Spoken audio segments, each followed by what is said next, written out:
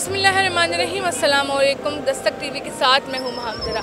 नाजिन आज मैं मौजूद हूँ पाकिस्तान की पहली और वाहिद स्ट्रीट लाइब्रेरी पे, जिसकी अफ्ताह 25 दिसंबर, यानी क्रिसमस डे और कायद अजम मोहम्मद अली जिना की पैदाइश के दिन 2019 में की गई थी। मेट्रोपोल चौरंगी के सड़क के किनारे एक अलमारी, जिसने पहले ही हफ़्ते लोगों को उलझा कर रख दिया था, वो आखिरकार एक स्ट्रीट लाइब्रेरी निकली। ये मंसूबा कराची के कमिश्नर इफ्तार अली शलवानी का एक इकदाम है, जिसका मकसद पढ़ने की आदत को बढ़ाना था। लेकिन आज ये लाइब्रेरी किस हाल को है और कितने लोग इस लाइब्रेरी का रुख करते हैं, आइए जानते हैं आज की वीडियो में।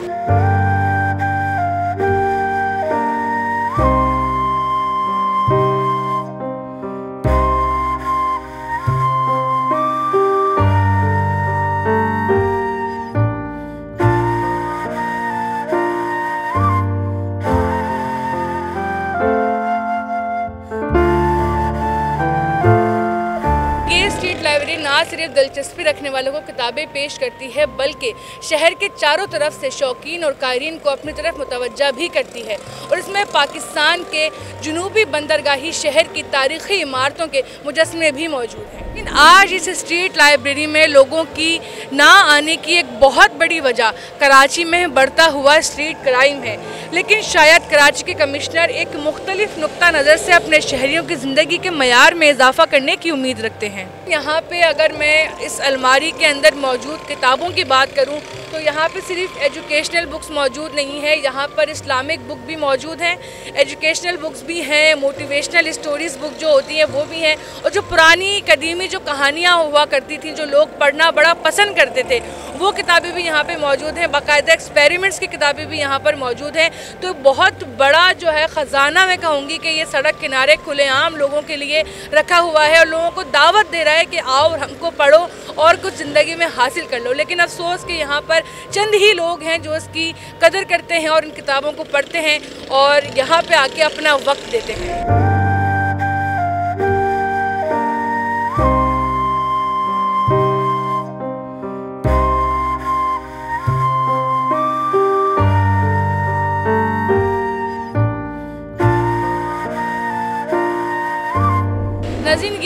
लाइब्रेरी जिस मकसद के लिए बनाई गई थी, वो मकसद तो पूरा ना हो सका।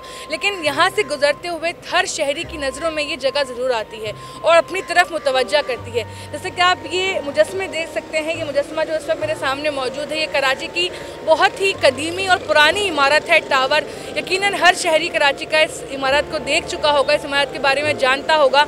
इसका मुजस्मा यहाँ पर मौजूद है, अगर हम आगे चल के आपको दिखाएँ तो ये भी इमारत कराची के शहरियों की नज़रों से हकीकता लाजमी गुजरी होगी।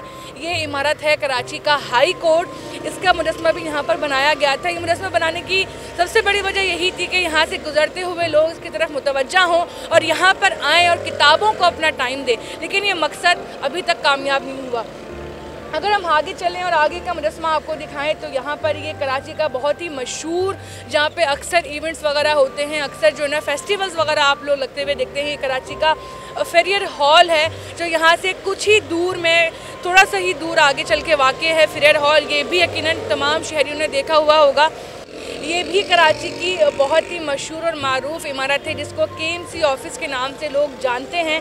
और अगर आगे चल के हम आपको दिखाएँ तो ये भी इमारत कोई इसमें इसका साथ में सन भी मेंशन किया गया है अट्ठारह की ये इमारत का मुजस्मा बना हुआ है। साथ ही साथ ये इमारत तो तकरीबन पाकिस्तान के तमाम लोग ही देखकर पहचान गए होंगे कि ये कायद अजम मोहम्मद अली जना का जो मज़ार है, उसका मुजस्मा यहाँ पर बनाया गया है। साथ ही साथ ये फ़ातिमा जना का भी एक मुजस्मा यहाँ बना हुआ है और कायद अजम का भी। और जितनी भी डिटेल्स हैं कि यहाँ पर सारी लिखी गई हैं कि ये 25 दिसंबर 2019 को इसकी अफ्ताह हुई थी और ये जिस मकसद के लिए बनी थी, मैं फिर से दोहराऊँगी अपनी बात को कि वो मकसद अधूरा रह गया और आज भी सिर्फ़ लोगों की तवज्जा का मरकज़ बन रही है, लेकिन जो मकसद था इसका असल वो नहीं पूरा हो रहा। नजीन साथ ही साथ यहाँ पे लियाकत अली ख़ान और लामा इकबाल के मुजस्मे भी बनाए गए हैं। ये मुजस्मे जिसने भी बनाए हैं, बड़ी महारत और ख़ूबसूरती के साथ बनाए हैं और ये इकदाम जो था वो बड़ा अच्छा इकदाम था नौजवान नस्ल के लिए कि उनकी पढ़ने की आदत, बड़े किताबें पढ़ने की आदत को बढ़ाना एक बहुत अच्छा इकदाम था। लेकिन चूँकि आजकल की नौजवान नस्ल जो है, जिसको मोबाइल्स और इंटरनेट और कंप्यूटर से फुर्सत ही नहीं मिलती, जो वो किताबों का रुख करें।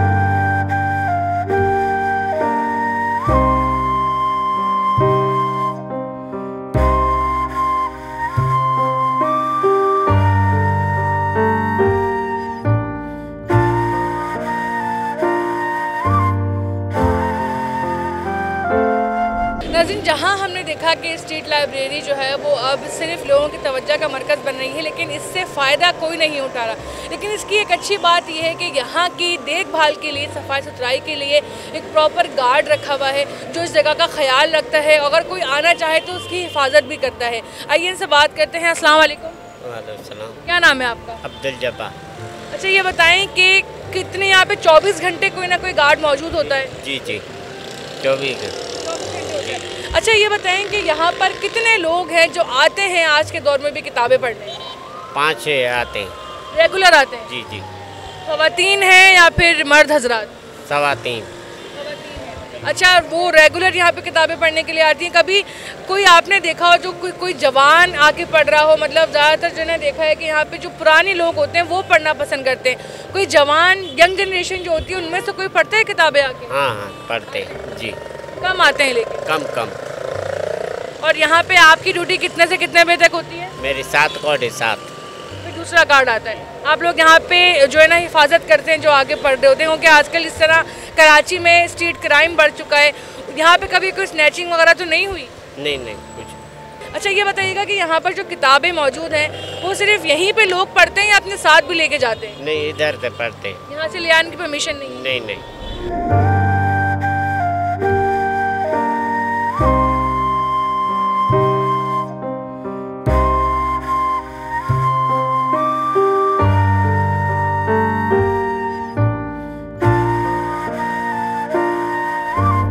नाजिन किसी ने ठीक ही कहा है कि किताबों के बगैर आपका कमरा ऐसा है जैसे रूह के बगैर जिसम। लेकिन आजकल की नौजवान नस्ल इस बात से आशना नहीं है क्योंकि बढ़ती हुई टेक्नोलॉजी ने उनकी आँखों पर पर्दा डाल दिया है। लेकिन जो लोग किताबों की अहमियत को समझते हैं वो आज भी इस आदत को, यानी किताबें पढ़ने की आदत को पसंद करते हैं और बाकायदगी से किताबें पढ़ते हैं। तो नाजिन उम्मीद करती हूँ कि आज का प्रोग्राम आपको पसंद आया होगा। इन आपसे फिर मुलाकात होगी एक नए प्रोग्राम के साथ। आज के प्रोग्राम में सिर्फ़ इतना ही। अल्लाह हाफिज़।